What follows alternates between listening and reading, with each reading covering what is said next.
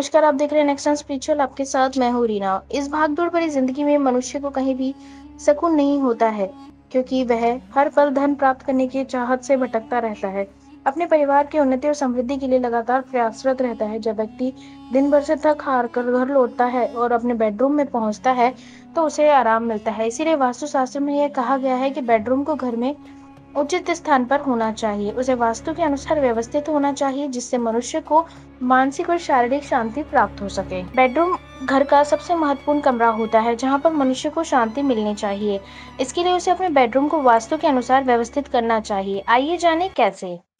Bedroom के दरवाजे के सामने कभी भी पलंग नहीं लगाना चाहिए। बेडरूम में राधा कृष्ण की तस्वीर को छोड़कर किसी अन्य देवी देवताओं या धार्मिक चित्र नहीं लगाने चाहिए। खुलते बंद होते समय आवाज़ नहीं करना चाहिए। बिस्तर के सामने आईना नहीं लगाना चाहिए। रात में सोते समय आपके शरीर का कोई भी अंग आईने में नहीं दिखाई देना चाहिए। बेडरूम में कभी भी अपने सिरहाने पर पानी से भरा जग या गिलास नहीं रखना चाहिए और सोते समय नीली रोशनी का बल्ब जलाना चाहिए।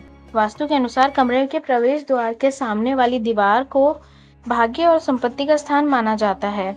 इसीलिए अगर इस दीवार में कोई भी दरार हो तो उसे तुरंत ठीक करा लेना चाहिए। अगर आपको हमारी जानकारी अच्छी लगी हो तो कमेंट कर ज़रूर बताएँ। वीडियो को लाइक और शेयर करना ना भूलें। और हमारे आने वाले वीडियोस के अपडेट पाने के लिए चैनल को सब्सक्राइब करें, साथ ही बेल आइकन दबाना ना भूलें।